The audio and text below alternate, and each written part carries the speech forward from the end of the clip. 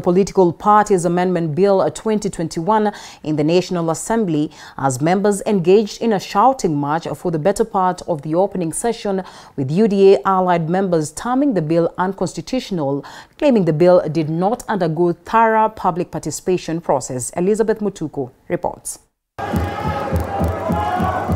Did not, did not do the definition just but a glimpse of what was witnessed in the floor of the House today.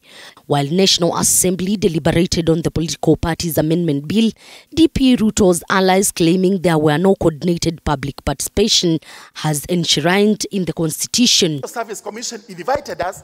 Most of us were committed elsewhere. We were not able to attend. As a result of which, I was not able to make my representations in that A or B that we had to do in Mombasa. Yesterday, the, we were signing the particular report, which was discussed in Mombasa. And I, I, I, raised a point in the meeting that I had to raise these issues. The chairman locked me out.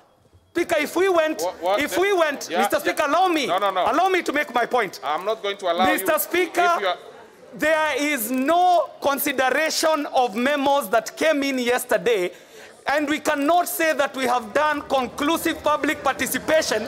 Um, Despite the orchestrated confusion and chaos, House Deputy Speaker Moses Cheboi stood his ground, later ruled that the committee had complied and allowed the debate on the bill to proceed, where members voted for the bill, where nays trounced the ayes, garnering 86 votes against 113 yes votes, with supporters arguing the bill would streamline the division of political parties' fund and offer clarity on how the matter should be handled.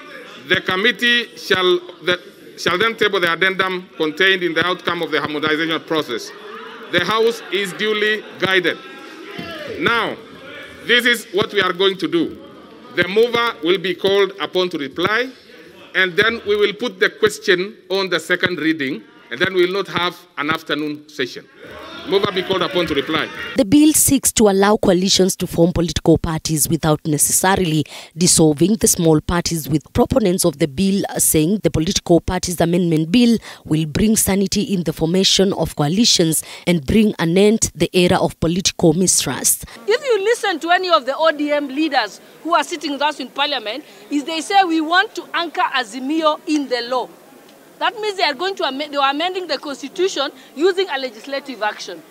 We cannot be passing laws as parliament for selfish interests of a few individuals who cannot be able to gather numbers on the ground. Today, in this house, it is the strategy which wins. We did very well in terms of strategy. We filed as many amendments as possible as our first strategy.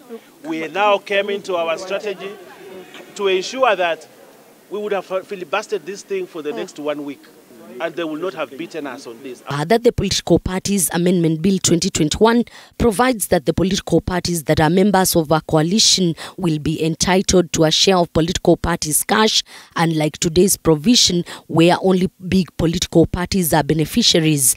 That they did not succeed in, uh, in doing, and we showed them, demonstrated to the entire country, as we have demonstrated before, even during BBI, where they walipiga kifua na kusema they will defeat us.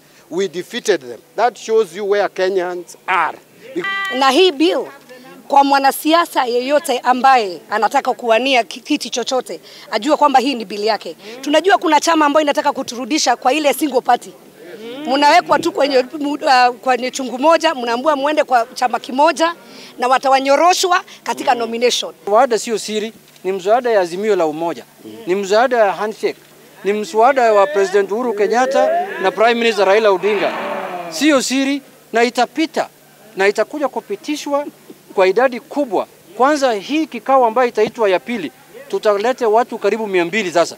The proposed law provides the monies allocated to a coalition political party shall be distributed by registrar of political parties in accordance with the coalition agreement. The new arrangement will allow dual membership of both political parties and individual that is lacking today.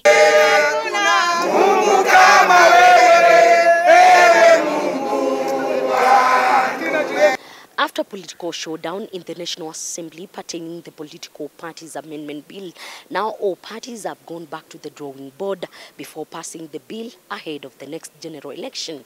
Elizabeth Mutuko, TV 47 Parliament Buildings, Nairobi.